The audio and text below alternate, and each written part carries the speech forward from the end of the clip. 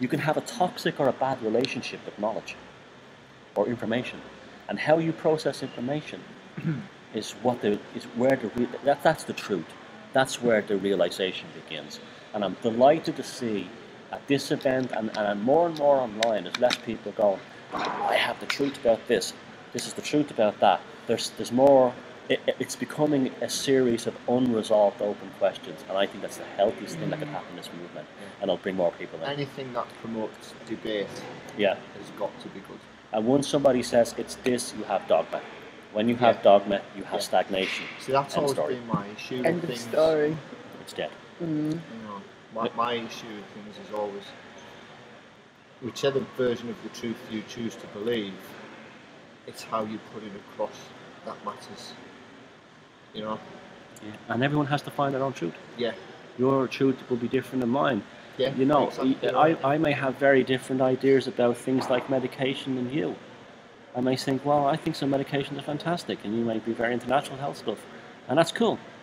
But that doesn't mean you and I have to develop a schism between the two of us. No, not Well, at that, all. that's you know that, that's what we've been talking about in the past, haven't we? Mhm. Because we believe essentially the same thing, just From looking at it from a different Yeah. perspective. Yeah, like I had one guy. know. He was telling me that uh, I was, he, he- you know, he says there's only one thing in the matrix I haven't broken from. Uh, uh, Manchester City Football Club. He says I absolutely love football, and he says I feel guilty about it. And I'm like, why do you feel guilty about it? I said if that makes you happy, and you're not tied up in it, or any club. I'm just saying football. Like so he, he thought that he had an almost he had an almost guilt complex.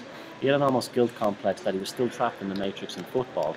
But if that's hmm. your hobby and that's your If fun, and part that, what you if are. it's if it's once you don't have some kind of passionately about, once there's no toxic relationship in terms of you you you hate another team. That's I think that's the bad thing about um, football. that's But- when you hate it, that's- We'll not go there. I used to I used to be like that. I used to I used to be like that, but then you know, it changed. Yeah, it's But I, I, I, I now regret that I actually gave up on football for that reason. Mm. because I did, ha- you know, we did have a lot of fun. We did have a lot of fun. So my attitude, see, that's part of my journey. That's something that, through, like I was talking to somebody there recently, and again, they were like, what they call it, like a person, and he was telling me that, uh, you know, he, he, he's, he loves television. He watches all the, the, the all the action movies, and he goes, I know that's stupid, but I said I love action films. And I was like, good. yeah, absolutely. Doesn't mean you're uh, you're more evolved actually being engaged with things and un- understanding on that level than you would be sitting in a cave meditating. You see, we've come to engage with this reality. We haven't come here to escape it, and part of it, it is being into things that others may perceive as twee or stupid or crazy. See, that's another thing too. As a hostility is developed in the scene as well, where people have tried to spread this sort of alternative information to their friends and family. You've heard me talk about that a bit today.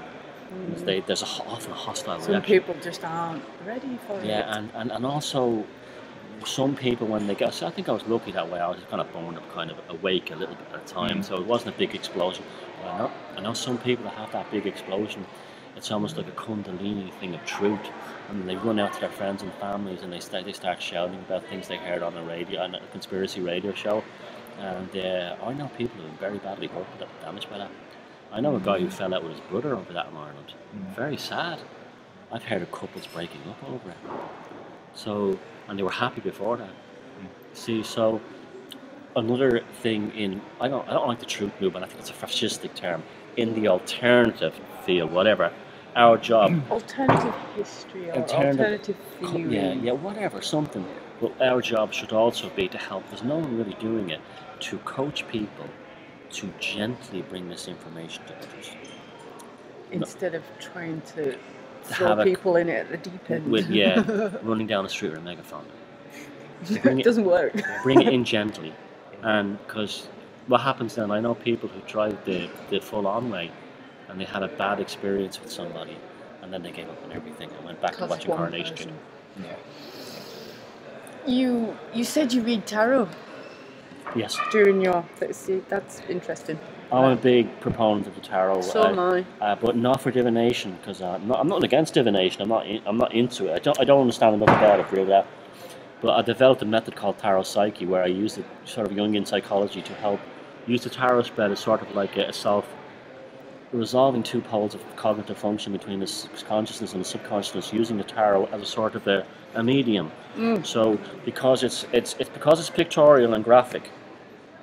If you have a problem, say like you know you and I you and I were pals and we fell out over something, uh, I would th- and then I would try to say, well why why does Jade why is Jade so upset with me? Mm. And then I would lay the spread of mm. cards out, and there's something about the archetypal graphics and the pictorials in those graphics that allowed the right brain to enter the dialogue.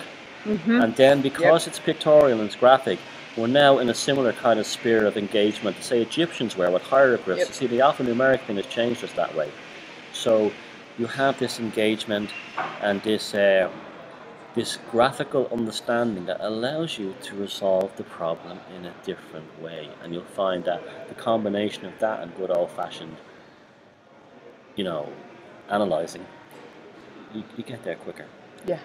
without the without the stress.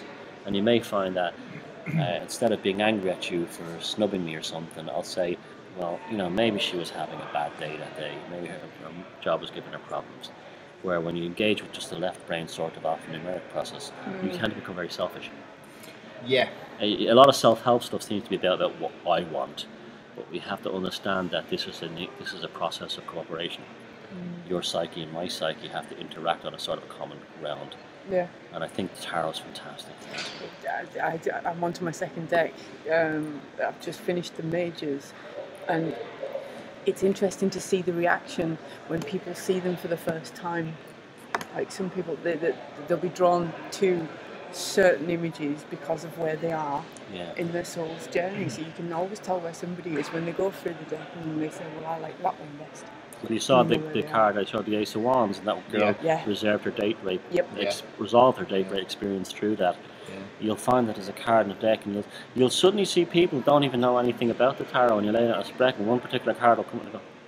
You will see that reaction, and it, it's often it's a very a surprising card. It doesn't have to necessarily be death or the devil. It could be something like the, the Queen of Swords. And there's a kind of a, a noetic kind of intuitive response there, and that's mm. very important because that has that, that thing has there has reached It's into gone. the subconscious, gone route one right back into the psyche, and you're I onto think something. A lot of people misunderstand tarot mm. purely because of the death card and, and, and things like that. do you know what I mean? Absolutely. Propaganda. Yeah. Yeah, well, it's used in so many horror films or gangster films and TV shows. Yeah. where you sort of a get- negative light. Death what deck do you use? But I think It's I was using that as well. It's a, that's a that's a deep one. I actually gave up on it after a while, not because it was bad, but because I found it very addictive. I found that it's very addictive. It's a very deep deck, so I've gone back to a sort of a, a more traditional deck. I'm using the Italian classic deck now, which is very similar to the Marseille. Very pretty. It's like a baroque artwork. I, there- there's nothing wrong with it. I'm not putting it down, but I, I, I just found Do you not find that the Thoth is an inner deck? Oh very much so. It's I- not one that you No. can.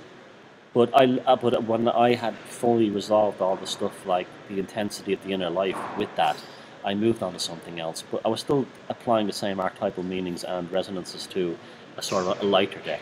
I found other people were were put off by the Thoth deck. They just was something about some of the images are very the depth. The artwork's fantastic. Lady Frieda Harris is genius. I think that's like an unsung masterpiece of art. Absolutely, it is. Some of the cards are incredible. The, fool with his eye, his, his li- eyelids gone, and you know the the the princess of wands where the, the their tail is wrapped around the leopard, and she's got these two bizarre horns coming out. Like spirals. fantastic. You know, the, the woman was a, a genius. But uh, to me now, that take has become for me uh, an, a piece of artwork I enjoy.